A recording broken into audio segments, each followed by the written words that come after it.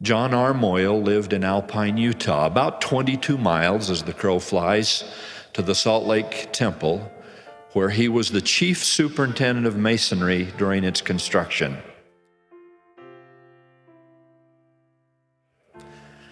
To make certain Brother Moyle was always at work by 8 o'clock, he would start walking about 2 a.m. on Monday mornings.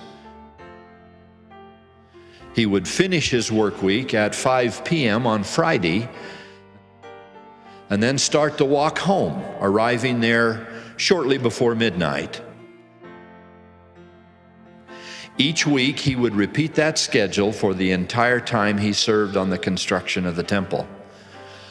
Once, when he was home on the weekend, one of his cows bolted during milking and kicked Brother Moyle in the leg, shattering the bone just below the knee. With no better medical help than they had in such rural circumstances, his family and friends took a door off the hinges and strapped him onto that makeshift operating table. They then took the buck saw they had been using to cut branches from a nearby tree and amputated his leg just a few inches below the knee.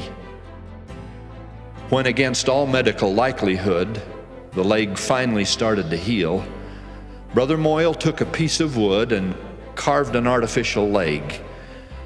First, he walked around the house, then, he walked in the yard. Finally, he ventured out across his property, and when he felt he could stand the pain, he strapped on his leg